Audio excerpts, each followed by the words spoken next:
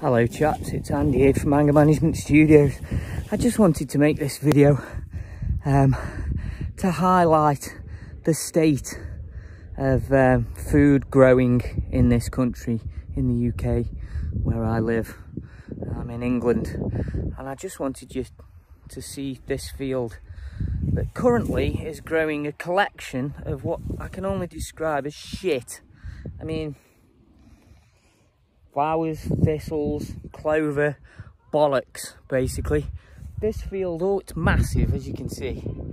This field always used to be full of wheat, barley, corn, all kinds of stuff. And apparently, we're facing this massive, massive food shortage. So why aren't we food self-sufficient in this country? Please tell me. Please tell me. I can only assume whoever owns this field is being paid not to grow any shit, any, any proper stuff and grow this shit instead.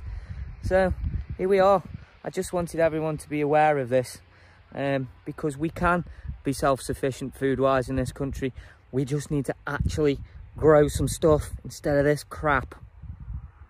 Madness. See you later, dudes.